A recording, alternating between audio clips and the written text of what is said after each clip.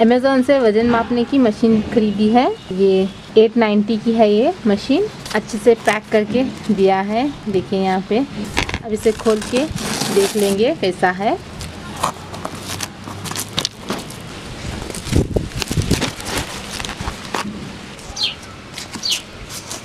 देखिए। अच्छे से पैक करके दिया है। अच्छा पैकिंग किया है कि कहीं भी डैमेज नहीं होने जैसा, इसे ओपन कर लेंगे। देखिए कितनी बार लपेट के दिया है।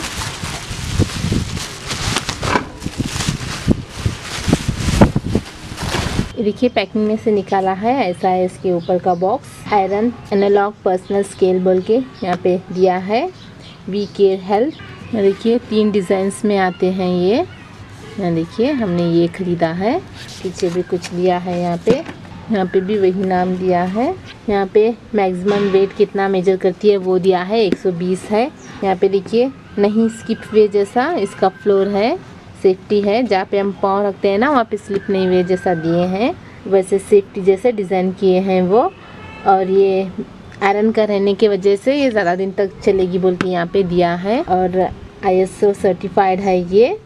यहाँ पे इम्पोर्टेंट टिप्स दिए हैं, कैसे यूज़ करना बोल के यहाँ पे उसकी स्पेसिफिकेशन दिया है। मशीन के बारे में 500 ग्राम से, यानी कि आधा किलो से 120 तक मेजर करेगी ये। और प्रोडक्ट वेट है 1.43 केजी है। और उसका साइज़ भी दिया है लेंथ ब्रेथ और उसकी हाइट सब कुछ दिया है यहाँ पे। अब इसे खोल के देख लेंगे।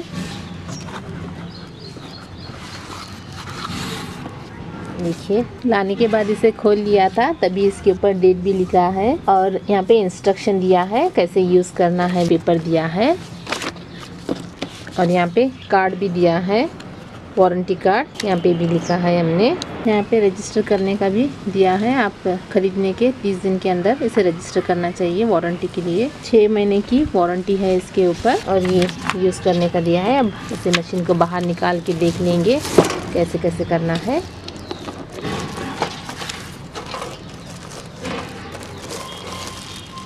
पे देखिए, पहला इंस्ट्रक्शन दिया है pull and remove the wire before use उपयोग से पहले तार को खींचिए और निकाल इंग्लिश और हिंदी दोनों में दिया है।